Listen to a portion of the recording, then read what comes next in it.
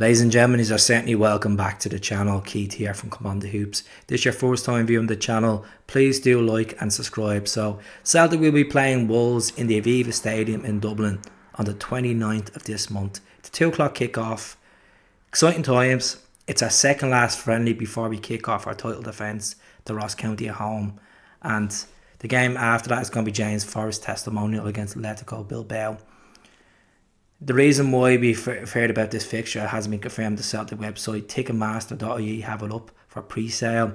Tickets go on sale at nine o'clock tomorrow morning. Will it be a sellout? I'm going to be brutally honest with you. The Aviva Stadium is the home of Irish football. 50 odd thousand capacity. Beautiful stadium. Kind of reminds of the Allianz Stadium in Munich, but it doesn't has that kind of lower drop behind the goal on the canal side. But look at I'm excited about this. The last time Celtic played in the Aviva Stadium, I was there in the Celtic ends, 1 0 against Liverpool Amido Baldé, August 2013.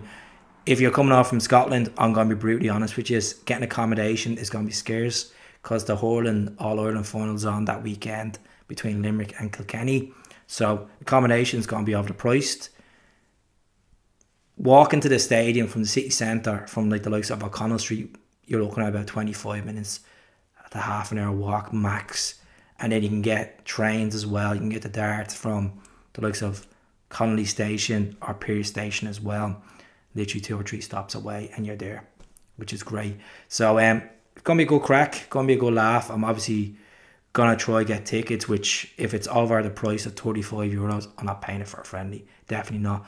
And it'd be, it'd be good for Brendan Rodgers to return to Ireland with his Celtic team Last time Celtic played in Ireland, a good competitive game, well, with Shamrock Rovers 9 0 at Tallaght, uh, which I was at.